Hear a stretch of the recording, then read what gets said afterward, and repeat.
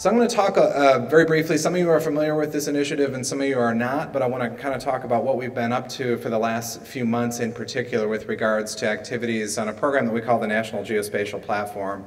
And you heard Anne mention a lot of this work evolved from work that we did uh, several years ago at the EPA and that they continue um, to move forward with with uh, great success, as you saw, and using that as kind of a test bed for taking some of the ideas forward nationally.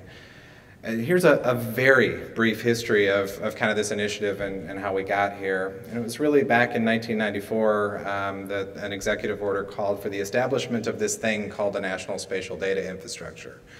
How is it that we can make sure that the right spatial data are available to users in all sectors of the economy to support decision making, to support mapping, to support all kinds of things that go on, not just in government, but in the private sector as well. And since that time, there's been a lot of really important foundational work that's been done. Mark's you know, organization, the Open Geospatial Consortium is somebody that we use, you know, extensively and that we leverage to move forward a lot of the, the standards and interoperabilities. Shmendra mentioned the geospatial interoperability reference architecture. So a lot of work is going on, you know, with regards to those policies and standards. One of the biggest you know, effects that this had uh, with regards to evolving this idea of a national spatial data infrastructure is registries. So we created registries, there was geodata.gov that evolved into data.gov as time went on or merged with data.gov. And the result is we're in a position today where as a, as a federal government and really with our state partners, uh, tribal entities as well, regional governments, there are tens of thousands, hundreds of thousands of data sets that are registered in these shared national catalogs. And recently we've got, kind of gotten to the point from a technology perspective where that's not really the problem we're trying to solve anymore. So registering your data is one thing, making it discoverable you know, is, is important. But we're getting to the point where you know, somebody really needs to make a decision. They need to get their hands on this data, you know, use it, make a map, build an analytical product. So not just now what, where do we go, but there is kind of this big so what. So we've got 200,000 data sets registered in data.gov. Most of them are geospatial. So what?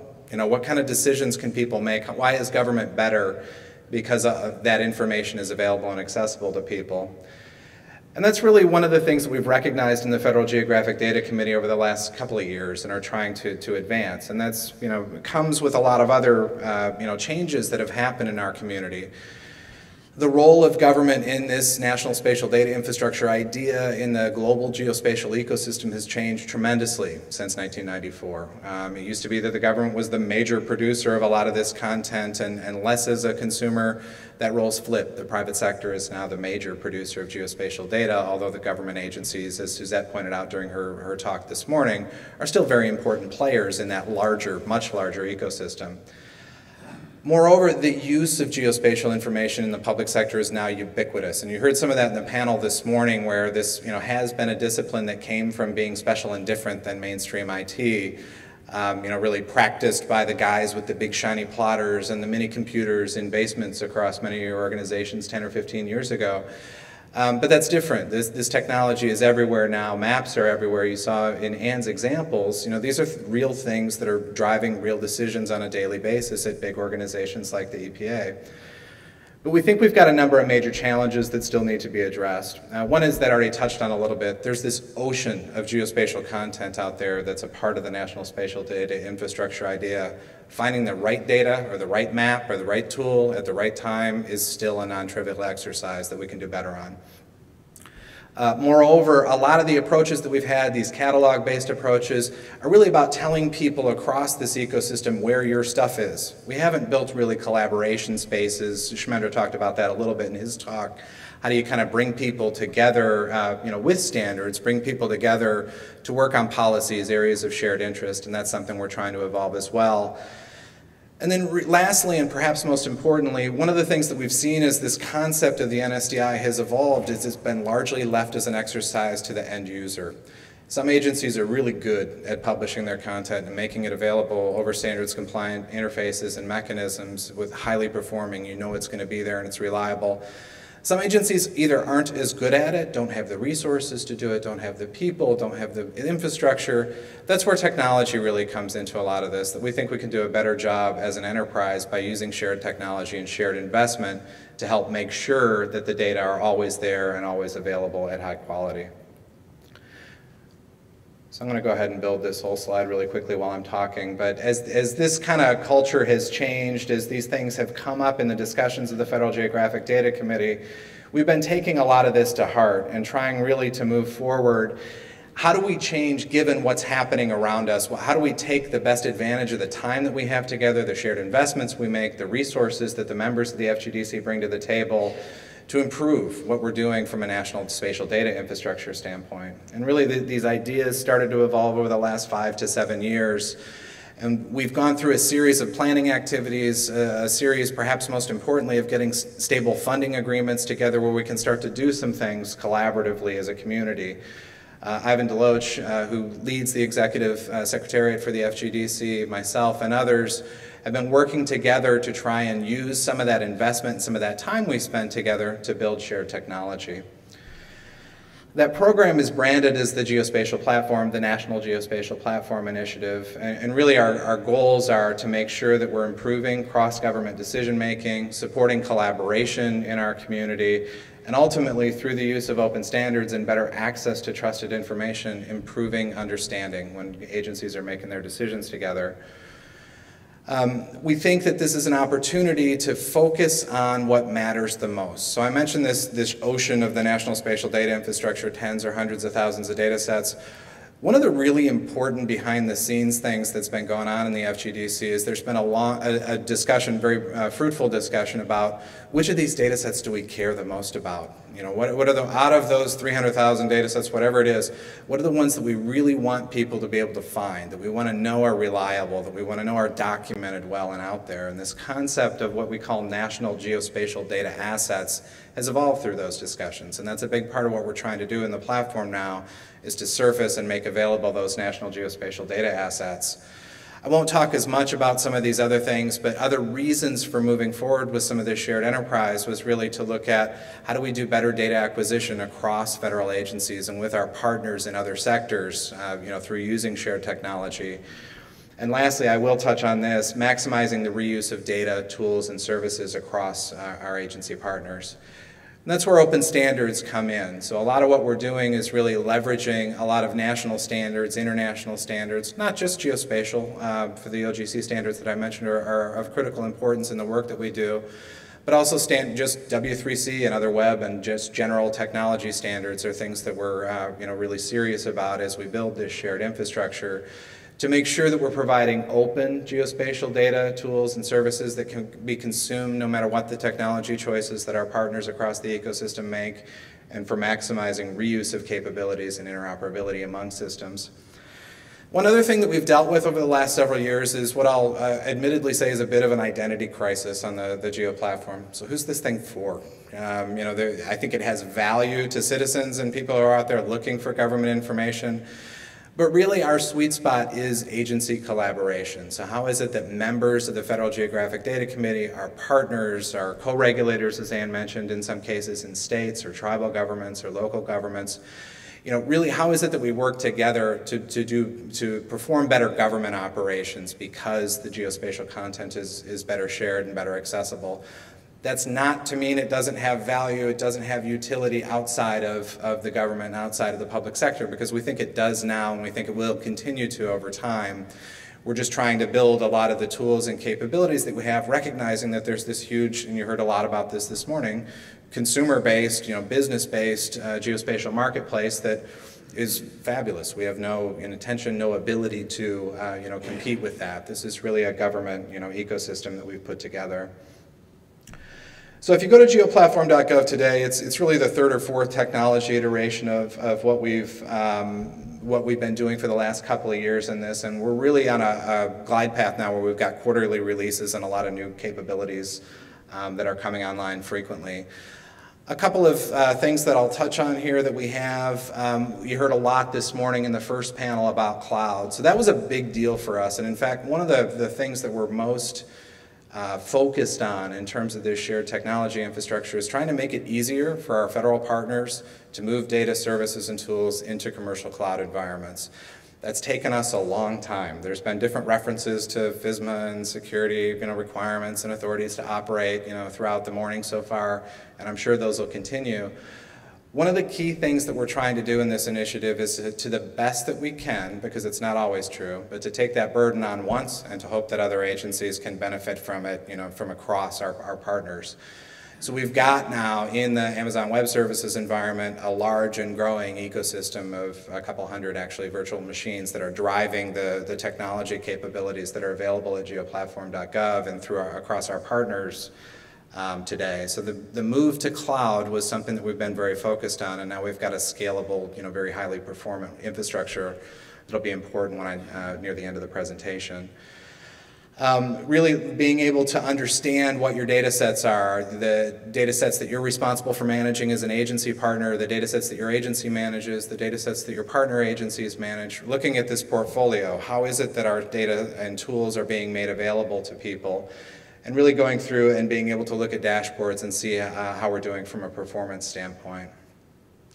We've also focused on new users. When you came to the platform a couple of iterations ago, it wasn't very obvious what it was that you could do. You know, this is my first time here. You know, what, what do I need to learn about this site? We've tried to put a lot of that information up front, make it easy for people to register, get their feet wet, and to start to poke around with the tools. And along with that, we've launched a lot, uh, a much better help desk, you know, capability, so we get frequent calls and, and emails that we can give people a hand as they're getting used to using the tools. One of the important ideas, I mentioned collaboration is kind of a cornerstone of what we're trying to do in the geospatial platform. And it, to be honest, I didn't recognize this when this program first started, that there was going to be such a need for that part of it. You know, as I mentioned, we came from the catalog and data services provisioning and shared tools um, environment.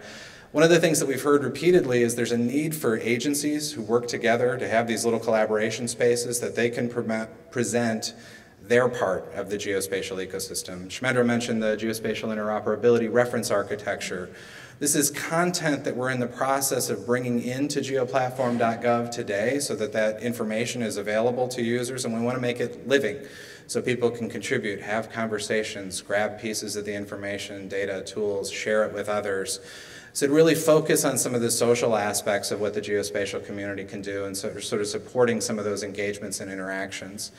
And you see a couple of what we call communities on the platform today. Uh, the Geospatial Concept of Operations is a program managed by the Department of Homeland Security, but kind of cuts across multiple levels of government. The Worldwide Human Geography Working Group that is supported by the State Department and the National Geospatial Intelligence Agency, but has a much larger you know, audience and, and participant community. So think of these just as little corners of a government website that communities of interest and communities of practice can come together, use the shared tools to present their own story or to reach their, their, their community and their partners. The social experience I mentioned, the communities are a big part of that, but the other things that we're trying to do with regards to the social experience are to make it easier for people to share their content. So I made a map. I want to make this map available to other people. How is it that I embed that into my own website, put that into a community. So all these kind of technical capabilities that are coming out in the platform that really allow people to share geographic content across the users of the, uh, not only the platform, but other places where uh, you know, people have constituencies, agency websites and things like that is work that's underway as well that's empowered by a, a, map viewer that we've created where you can go in and for the first time, and it's almost embarrassing to say this to be honest, when data.gov launched, um, the, initially there wasn't a data viz capability in it, so we didn't have the ability to start to layer some of these things onto a map. Different iterations of that came and went over time. But one of the things that we focused on in the recent rebuild of geoplatform.gov was to make sure that it wasn't just a textual query, you know, of the catalog. That you could go through and say, I want to know what this looks like. I want to add it to a map with this data. So now all of the web service enabled geospatial data in data.gov is accessible and viewable through our web map viewer. You can build mashups, you can save things, share them with other people, publish maps, and so on. So that's new capabilities that you'll see for those who haven't looked at the site in some time that have come online uh, really this spring and will continue to evolve uh, over the coming several months. When you save those maps, those are, we have a, a, map management capability. So how is it that I can take this map and, and store it and come back to it later, store it and share it with a, with a partner? There are other, there are commercial capabilities where people do this kind of work already. Uh, Esri ArcGIS Online being one of those big environments. So instead of picking a technology winner, what we want to do is just create galleries of open maps. So how is it that we have web maps that live in multiple environments, including some that happen to be housed in geoplatform.gov proper, But starting with uh, ArcGIS Online, you can reference maps there and share them with our map gallery as well. So users, you can come in, it doesn't matter where you created the map, it doesn't matter what tools that you're using to do this, it's a web map and you can share it with other things. And I think there's an interesting you know, um, discussion to be had in the OGC and elsewhere about what does an open web map look like because we have multiple environments where the map is really the object that's being shared and not necessarily, you know, not just the data services but this kind of higher order abstraction of this content I think is potentially an interesting discussion. Uh, lastly, I want to touch on the performance dashboard. So this is, um, these capabilities are not yet online, but they're going to be online, I heard mid-May, so soon. We're going through a process of vetting some of the content that's in there now. I mentioned one of the big challenges of this idea of the National Spatial Data Infrastructure, and that, that's that it's dependent on a bunch of people who you don't know, spread out over agencies all over the country, all over the world, publishing high quality data, making sure those services are available, they're up, they're um, you know, well documented and so on. And what we've seen in practice is that unfortunately that's all, not always true. People publish data services, they publish a metadata record, and then they move the service, but they forgot to change the metadata record. Services go up, services go down, metadata records get stale we didn't really have a monitoring capability across this network of, of uh, interoperable web services where people could check and see how are we doing, how's my agency doing, um, you know, so we, as a way to, to kind of get signals as to what needs to be fixed. So we're in the process of releasing a number of these different tools and it's a little, it's very hard to see, but if you go across the top, each of the FGDC agencies for those national geospatial data assets that I mentioned has gone through and done a full lifecycle assessment of their data sets, of which one of those key data sets is it that they manage. And they um, have answered questions on how they're doing in terms of the completeness, the quality, the documentation, the investment to date, and so on. And we've rolled all of that up into dashboards where now you'll be able to look across the different content themes of the National Spatial Data Infrastructure and down through different individual departments and agencies to see how people are doing. It's more or less a report card for the National Spatial Data Infrastructure. With the major difference that we joke about being that you see all the colors on the dashboard are green. So this is one of the things about interagency collaboration. There's no red. Everybody's, you know, different shades of, shades of good, you know, in terms of how this is going forward. But that's actually really important from a technology standpoint for us. The purpose of da this dashboard and the other dashboards that we'll release on geoplatform.gov isn't to browbeat people or to tell them they've done a bad job. We have to recognize this is a best effort opportunity across many of our partner organizations. That's where the cloud comes in because you know we really have this large and growing shared infrastructure now where if an agency is not able to keep a web service up and running, they're not doing a great job and we're measuring that we can do it for them. We can offer this shared infrastructure that we're making available to, to partner and to bring that content into our environment with the goal being we want to raise everybody's ships and make sure that all of the data that we're keeping track of are ultimately highly performant and available. So you see some of those reliability indicators there. The dashboard, like I mentioned, will come online in about two weeks and I'd encourage people to go around and start playing with it who are interested. I think this is a, a major part of, of the evolution of what we're doing. So what's coming next? We're going to be expanding some of the community engagement capabilities, um, releasing some new uh, capabilities for integrating content from other environments. Uh, we're working right now on an upgraded marketplace capability, so how is it that agencies can work together around shared data acquisition. Uh, metadata tools for discovery of resources and how data get linked to service, more and more of the measurement and capabilities that are there. One thing that's not on the slide that I want to touch on that's coming out uh, late this summer and is another reason why our cloud infrastructure is important. Javier mentioned the semantic, you know, kind of search and some of those capabilities during his talk. Um, we are taking all of the metadata records from data.gov, building knowledge graphs about data, maps, layers, things that live in data.gov, and we're we will be enabling semantic search on all of that content. So if you search for fuel, you'll get hits for gas station and other things that are like it from a search standpoint, but I think more interesting from a geospatial user standpoint, we're building towards an experience with our web map viewer that now when you, when you pull up a map, it'll say, you might consider adding this layer to this map because we think it's related to the other layers that you have here. Or you're at a scale that that layer actually doesn't make sense. Here's a suggestion for a layer that you might switch out for that. So to really use what we know in these metadata catalogs and exploit that in a way that's much more like your search experience and your experience on the commercial web. And that's really what we're trying to build towards in some of the geoplatform.gov capabilities that are currently under development. Uh, with that, I will close just with a few quick bullets. So really the things that we're focused on now are trying to make people, uh, make it easy for people to find the right data and maps when they come into this massive uh, national spatial data infrastructure idea.